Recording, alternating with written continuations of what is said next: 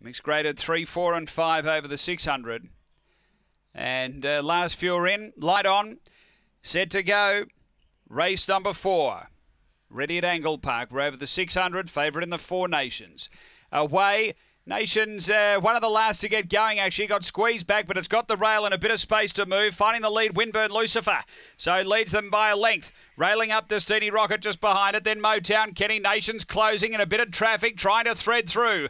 Then came Sketchy Gun and uh, stacked the aces and Dynamical down the back. Destiny Rocket took over. Nation sees Daylight, two and a half off the top, a length away. Winburn Lucifer. Uh, behind those then came Motown, Kenny up to the bend. Destiny Rocket, a length and a half. Nations going for the inside. Side now the outside. Destiny Rocket kicking from Nations. Late Winburn Lucifer.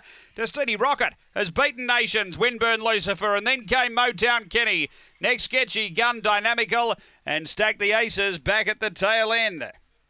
Too good here. Destiny Rocket has been able to do it for Tony Henriksen. And uh, look, um, her 600 metre form is so consistent and. Uh, uh, different class here, but has been able to sneak through just in behind the pace initially, then take the lead and run 35.27, which is um, about a length and a half outside its best. So uh, three, four, one, and two.